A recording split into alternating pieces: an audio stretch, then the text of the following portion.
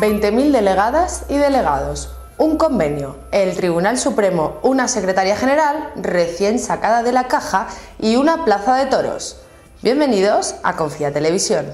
Hace ya algunos años, cuando comencé a tener las primeras responsabilidades en el equipo regional, allá por el 2002, con tareas de extensión y acción sindical en el sector de seguros, una mañana se presentó José Luis Alcolea en el despacho, en Ciudad Real, y traía un teléfono móvil nuevo que seguro que no era ni de primera generación ni de alguna siquiera. Y en la caja venía escrito Abori, para la chica. Y sí, era para mí. Ya veis, hoy esta chica se está presentando aquí como secretaria general. Lo que me anima a compartir otra reflexión. La necesaria participación plena de las mujeres en todos los ámbitos de la sociedad es una premisa fundamental para conseguir un pleno desarrollo económico, social y democrático. El estilo de dirección que aportamos es el de la visión global hacia la igualdad y las capacidades que tenemos aparecen cuando nos autorizamos a vivir nuestra propia identidad, al margen de estereotipos, estemos donde estemos y seamos quienes seamos, encontrando así el sereno poder y, y creando esos entornos de respeto. Así pues, con este aprendizaje constante, a lo largo de estos años lo que hacemos es saber que esto, lo de estar, no es una tendencia nuestra, de las mujeres, ni de reinar huecos sino un compromiso social y sindical.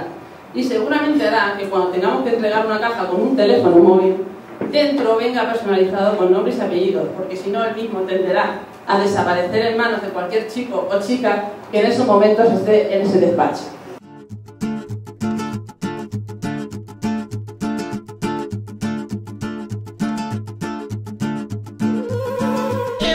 Firmado el convenio de entidades financieras. El texto contempla un incremento salarial para cada año de vigencia del convenio.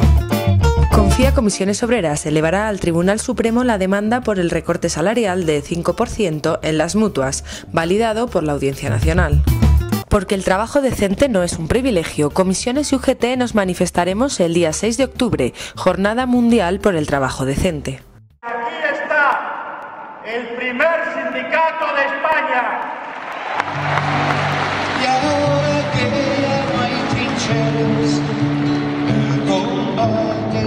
escalera y el que trepe a lo más alto pondrá salvo su cabeza, aunque se hunda en el asfalto.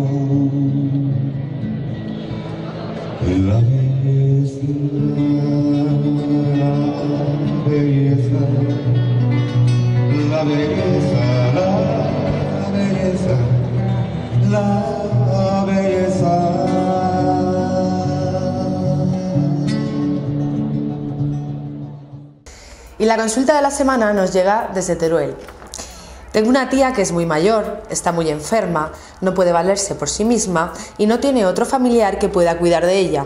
Quisiera pedirme una reducción de jornada para poder atenderla mejor.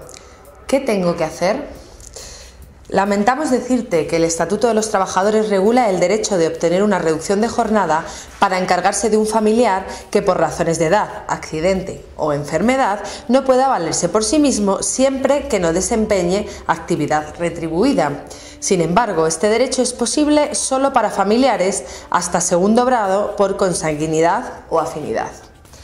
El grado de parentesco que une a tu familiar a ti es de tercer grado y por tanto, salvo que el convenio colectivo o acuerdo de empresa incluya a los familiares de tercer grado, no tendrías derecho a la reducción de jornada. No obstante, puedes intentar pactar de forma individual con tu empresa.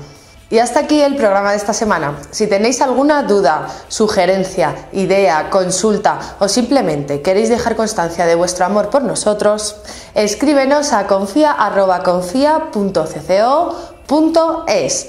Leeremos vuestros mails presurosos y gustosos. Chao.